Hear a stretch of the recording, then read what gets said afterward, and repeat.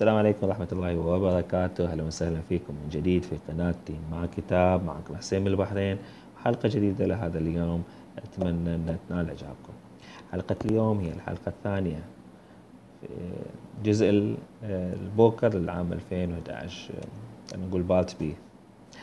راح أتكلم اليوم عن رواية القوس والفراشة للمؤلف محمد المغربي محمد الأشعري. وهي أول قراءة بالنسبة لي مع أي مؤلف وقريت الكتاب الفائز على جائزة البوكر مناصفة مع طوق الحمام آه، في عام 2011 لا هو فايز في 2011 بس أنا قريته لاحقا يعني من الأيام هذه في إلكترونيا الرواية طبعا من آه، style أسلوبها ونمطها من نوع اللي يسمونه الأدب الأطروحة واللي يناقش القضايا القضايا المجتمعية. أسلوب السرد تمتعت الرواية بأسلوب سرد لغوي مفعم بالشاعرية الوصف. أعتقد أن ذلك يعكس الميول الشعرية اللي موجودة عنده تسع روايات شعرية. أقسام الرواية. الرواية تنقسم لو حبينا نقسمها إلى ثلاثة أقسام أساسية وهو القسم الجيل الأول والجيل الثاني والجيل الثالث. هاي كأقسام أساسية. كل قسم طبعا القسم الجيل الأول يتكلم عن الجد الجيل الثاني قاعد يتكلم عن الأب الجيل الثالث قاعد يتكلم عن شنو حصل مع الابن وشنو واصل الأب حياته. الأقسام الفرعية منها هي الفصول نفسها الموجودة بالكتاب طبعا ما راح أعدد لكم الأسماء لأنها طويلة ثمانية فصول موجودة.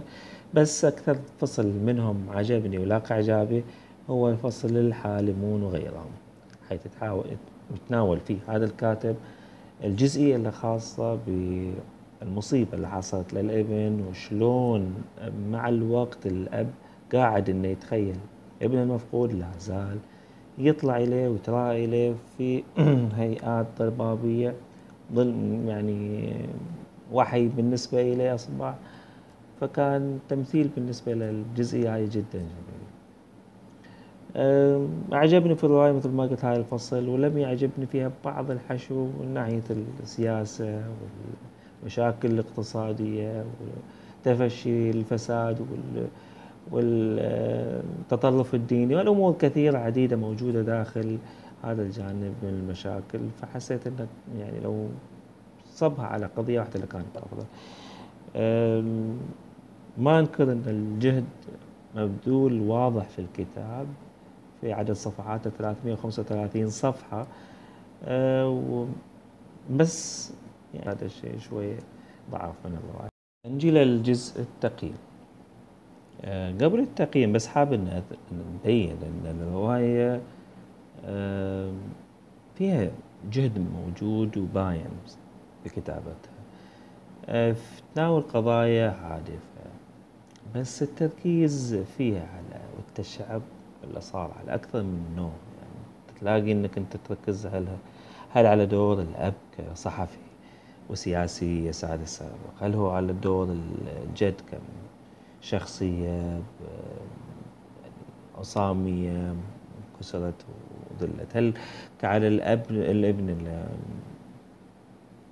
يعني تعب عليه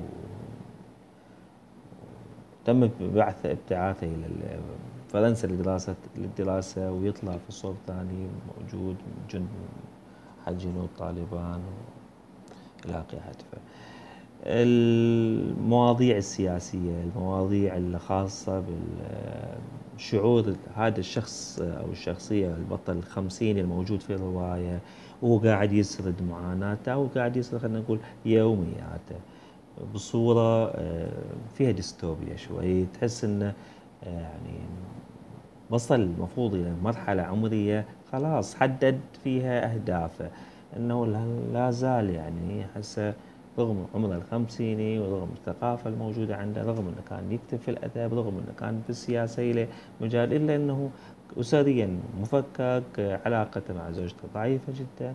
الحياة بالنسبة إليه آه، سلسلة صدمات أصدقاء محدودين كارثة ابنه هزت كيانه غيرت منظوره للحياة أصبحت النظرة السوداوية بالنسبة إليه صديقته يعني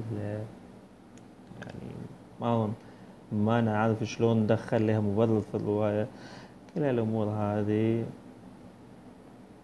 ما عرفت جزئية من الرواية بالنسبة لي وعجبني بس فقط فيها الفصل الخامس اللي كان يتكلم عن الحالمون.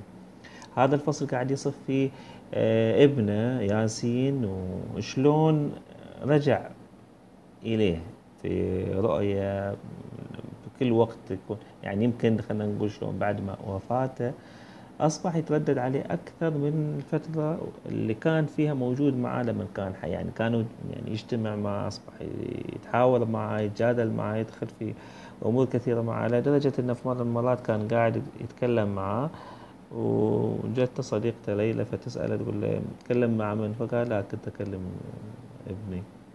هذا مو موجود متوفي بس شلون التمثيل في هالجزئية هذه؟ لمست الأمور؟ خلينا نقول المشاعر فيها كانت جدا جميلة. حبيت هذا الفصل صراحة. إلى اثنين ونص من خمسة الرواية مش سيئة جدا ولكن ما عجبتني إلى درجة فوق التوقعات. كانت يعني بسيطة سلسة سردها خفيف نوعا ما مش دسمة المحتوى. مثل الرواية السابقة. هاي كان كل اللي عندي لحلقة اليوم. أتمنى أن الحلقة نالت إعجابكم. إن شاء الله نشوفكم في حلقة قادمة. ورواية بوكر جديدة. ومع السلامة.